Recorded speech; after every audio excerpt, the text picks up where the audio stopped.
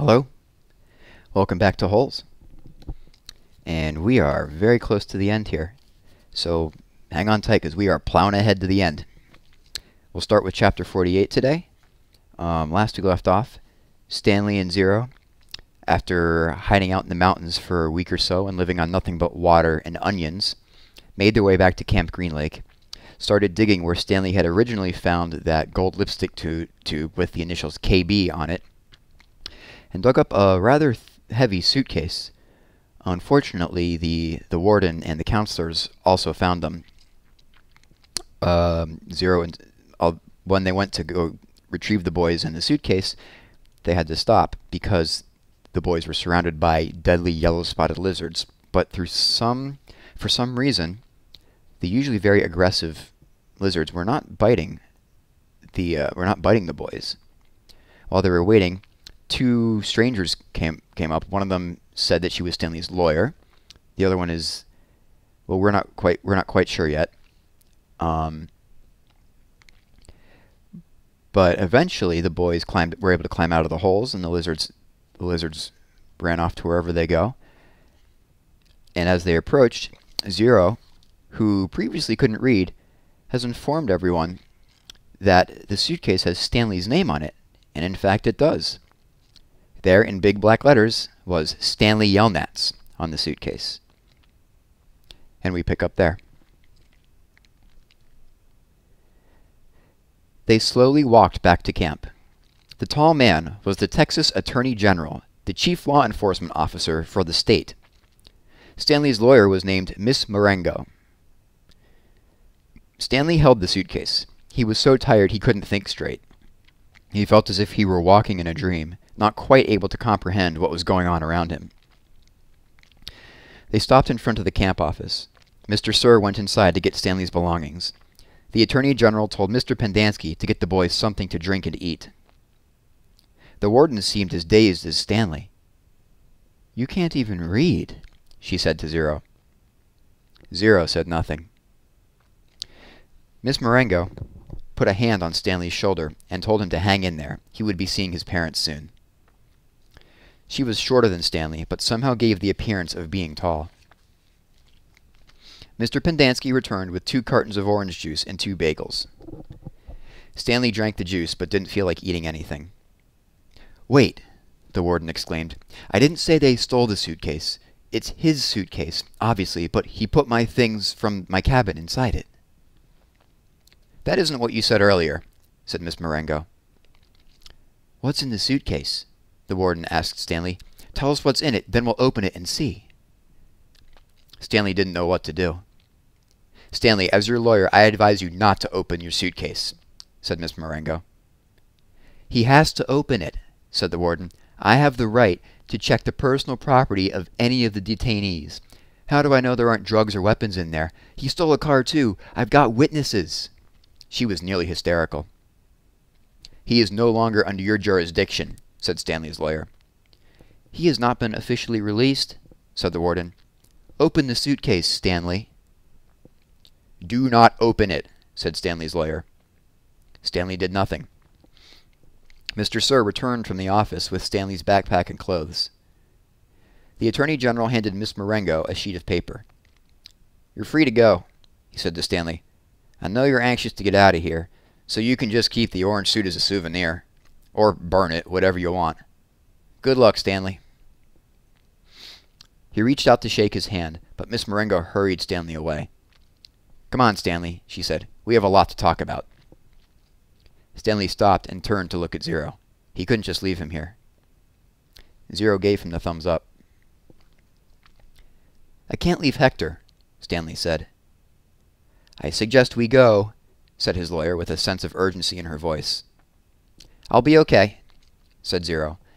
His eyes shifted toward Mr. Pendanski on one side of him, then to the warden, and Mr. Sir on the other. There's nothing I can do for your friend, said Miss Morengo. You are released pursuant to an order from the judge. They'll kill him, said Stanley. Your friend is not in danger, said the Attorney General. There's going to be an investigation into everything that's happened here. For the present, I am taking charge of the camp. Come on, Stanley, said his lawyer. Your parents are waiting. Stanley stayed where he was. His lawyer sighed. May I have a look at Hector's file? she asked. Certainly, said the Attorney General. Miss Walker, go get Hector's file. She looked at him blankly. Well? The warden turned to Mr. Pendanski. Bring me Hector Zeroni's file.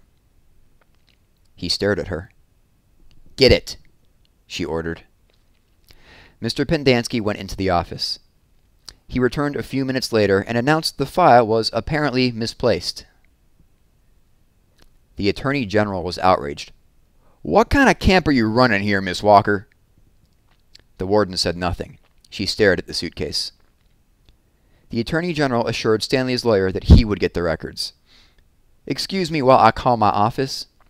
He turned back to the warden. I assume the phone works. He walked into the camp office, slamming the door behind him. A little while later, he reappeared and told the warden he wanted to talk to her. She cursed, then went inside. Stanley gave zero thumbs up. Caveman, is that you? He turned to see Armpit and Squid coming out of the rec room. Squid shouted back into the rec room. Caveman and Zero are out here. Soon all the boys from Group D gathered around him and Zero. Good to see you, man, Armpit said, shaking his hand. We thought you were buzzard food. Stanley is being released today, said Mr. Pendanski. Way to go, said Magnet, hitting him on the shoulder. You didn't even have to step on a rattlesnake, said Squid. Even Zigzag shook Stanley's hand. Sorry about, you know. It's cool, said Stanley. We had to lift the truck clear out of the hole, Zigzag told him. It took everyone in C, D, and E. We just picked it right up. It was really cool, said Twitch. X-Ray was the only one who didn't come over. Stanley saw him hang back behind the others a moment, then returned to the rec room. Guess what? said Magnet, glancing at Mr. Pendanski. Mom says we don't have to dig any more holes. That's great, Stanley said. Will you do me a favor? asked Squid. I guess, Stanley agreed somewhat hesitantly. I want you to... He turned to Miss Morengo. Hey, lady, do you have a pen and paper I can borrow? She gave it to him, and Squid wrote down a phone number which he gave to Stanley. Call my mom for me, okay? Tell her... Tell her I said I was sorry. Tell her Alan said he was sorry. Stanley promised he would. Now you be careful out in the real world, said Armpit. Not everyone is as nice as us. Stanley smiled. The boys departed when the warden came out of the office. The Attorney General was right behind her. My office is having some difficulty locating Hector Zeroni's records, the Attorney General said. So you have no claim of authority over him? asked Miss Morengo. I didn't say that. He's in the computer. We just can't access his records. It's like they've fallen through a hole in cyberspace. A hole in cyberspace, Miss Morengo repeated. How interesting. When is his release date? I don't know. How long has he been here? Like I said, we can't... So what are you planning to do with him? said Miss Morengo. Keep him confined indefinitely without justification while you go crawling through black holes in cyberspace? The Attorney General stared at her. He was obviously incarcerated for a reason. Oh, she said, and what reason was that? The Attorney General said nothing. Stanley's lawyer took hold of Zero's hand. Come on, Hector, you're coming with us. Chapter 49 There never used to be yellow-spotted lizards in the town of Green Lake. They didn't come to the area until after the lake dried up but the townsfolk had heard about the red-eyed monsters living in the desert hills. One afternoon, Sam, the onion man, and his donkey, Mary Lou, were returning to, the, to his boat, which was anchored just a little offshore. It was late in November, and the peach trees had lost most of their leaves. Sam! someone called. He turned around to see three men running after him, waving their hats. He waited. Afternoon, Walter, Bo, Jesse, he greeted them as they walked up, catching their breath. Glad we caught you, said Bo. We're going rattlesnake hunting in the morning. We wanted to get some of your lizard juice, said Walter. I ain't a scared of no rattlesnake, said Jesse, but I don't want to come across one of those red-eyed monsters. I seen one once, and that was enough. I knew about the red eyes, of course. I hadn't heard about the big black teeth. It's the white tongues that get me, said Bo. Sam gave each man two bottles of pure onion juice. He told them to drink one bottle before going to bed that night, then a half bottle in the morning, and then a half bottle around lunchtime. You sure this stuff works? asked Walter. Tell you what, said Sam. If it doesn't, you can come back next week, and I'll give you your money back. Walter looked around unsure as Bo and Jesse laughed. Then Sam laughed too. Even Mary Lou let out a rare hee-haw. Just remember, Sam told the men before they left, it's very important you drink a bottle tonight. You got to get it into your bloodstream. The lizards don't like onion blood. Stanley and Zero sat in the back seat of Miss Morengo's BMW. The suitcase lay between them. It was locked, and they decided they'd let Stanley's father try to open it in his workshop. You don't know what's in it, do you? she asked. No, said Stanley. I didn't think so, she said. The air conditioning was on, but they drove with the windows open as well, because... No offense, Miss Morengo had said, but you boys really smell bad. Miss Morengo explained that she was a patent attorney. I'm helping your father with the new product he's invented. He happened to mention your situation, so I did a little investigating. Clyde Livingston's sneakers were stolen sometime before 315. I found a young man, Derrick Dunne, who said that at 320 you were in the bathroom fishing your notebook out of the toilet. Two girls remembered seeing you come out of the boys' restroom carrying a wet notebook. Stanley felt his ears redden. Even after everything he'd been through, the memory still caused him to feel shame. So you couldn't have stolen them, said Miss Morengo. He didn't. I did, said Zero. You did what? asked Miss Morengo. I stole the sneakers, said Zero. The lawyer actually turned around while driving and looked at him. I didn't hear that, she said, and I advise you to make sure I don't hear it again. What did my father invent? Stanley asked. Did he find a way to recycle sneakers? No, he's still working on that, explained Miss Morengo. But he invented a product that eliminates foot odor.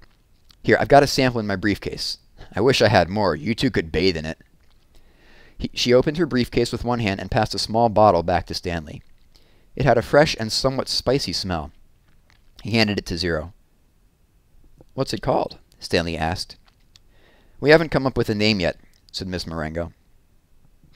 It smells familiar, said Zero. Peaches, right? asked Miss Morengo. That's what everyone says. A short while later, both boys fell asleep. Behind them, the sky had turned dark, and for the first time in over a hundred years, a drop of rain fell into the empty lake. We have one more chapter to go in part three, filling in the holes. Chapter 50 Stanley's mother insists that there never was a curse. She even doubts whether Stanley's great-great-grandfather really stole a pig. The reader might find it interesting, however, that Stanley's father invented his cure for foot odor the day after the great-great-grandson of Elya Yelnats carried the great-great-great-grandson of Madame Zeroni up the mountain. The Attorney General closed Camp Green Lake. Miss Walker, who was in desperate need of money, had to sell the land which had been in her family for generations. It was bought by a national organization dedicated to the well-being of young girls. In a few years, Camp Green Lake will become a Girl Scout camp. This is pretty much the end of the story. The reader probably still has some questions, but unfortunately, from here on in, the answers tend to be long and tedious. While Mrs. Bell, Stanley's former math teacher, might want to know the percent change in Stanley's weight, the reader probably cares more about the change in Stanley's character and self-confidence. But those changes are hard are subtle and hard to measure. There is no simple answer. Even the contents of the suitcase turned out to be somewhat tedious. Stanley's father pried it open in his workshop, and at first everyone gasped at the sparkling jewels. Stanley thought he and Hector had become millionaires but the jewels were of poor quality, worth no more than $20,000. Underneath the jewels was a stack of papers that had once belonged to the first Stanley Yelnats. These consisted of stock certificates, deeds of trust, and promissory notes. They were hard to read and even more difficult to understand. Miss Morengo's law firm spent more than two months going through all the papers. They turned out to be a lot more valuable than the jewels. After legal fees and taxes, Stanley and Zero each received less than a million dollars. But not a lot less. It was enough for Stanley to buy his family a new house, with a laboratory in the basement, and for Hector to hire a team of private investigators. But it would be boring to go through all the tedious details of all the changes in their lives. Instead, the reader will be presented with one last scene, which took place almost a year and a half after Stanley and Hector left Camp Green Lake. You will have to fill in the holes yourself. There was a small party at the Yelnats' house. Except for Stanley and Hector, everyone there was an adult. All kinds of snacks and drinks were set out on the counter, including caviar, champagne, and the fixings to make ice cream sundaes. The Super Bowl was on television, but nobody was really watching. It should be coming on at the next break, Miss Morengo announced. A timeout was called in the football game, and a commercial came on the screen. Everyone stopped talking and watched. The commercial showed a baseball game. Amid a cloud of dust, Clyde Livingston slid into home plate as the catcher caught the ball and tried to tag him out. Safe! shouted the umpire as he signaled with his arms. The people at Stanley's house cheered as if the run really counted. Clyde, excuse me. Clyde Livingston got up and dusted the dirt off his uniform. As he made his way back to the dugout, he spoke to the camera. Hi, I'm Clyde Livingston, but everyone around here calls me Sweet Feet. Way to go, Sweet Feet, said another baseball player, slapping his hand. Besides being on, on the television screen, Clyde Livingston was also sitting on the couch next to Stanley. But my feet weren't always sweet, the television Clyde Livingston said as he sat down on the dugout bench. They used to smell so bad that nobody would sit near me in the dugout. They really did stink, said the woman sitting on the couch on the other side of Clyde. She held her nose with one hand and fanned the air with the other. Clyde shushed her. Then a teammate told me about sploosh, said the television Clyde. He pulled a can of sploosh out from under the dugout bench and held it up for everyone to see. I just spray a little on each foot every morning, and now I really do have sweet feet. Plus, I like the tingle.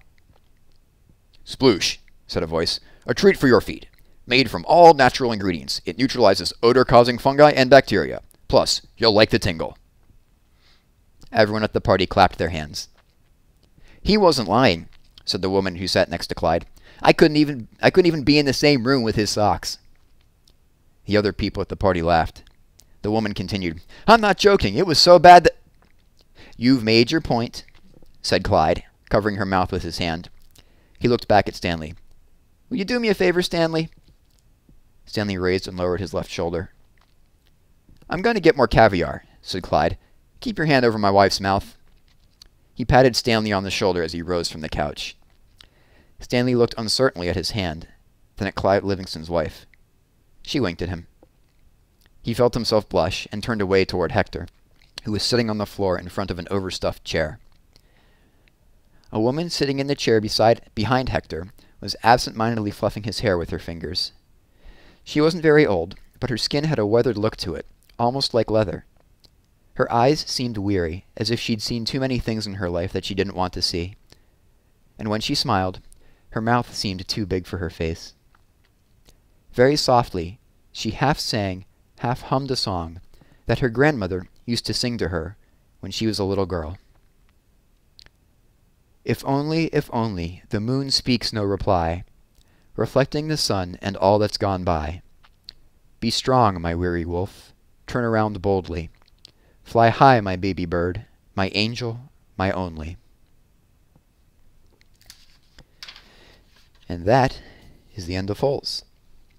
I hope you enjoyed that as much as I did when my teacher first read it to me when I was in fifth grade.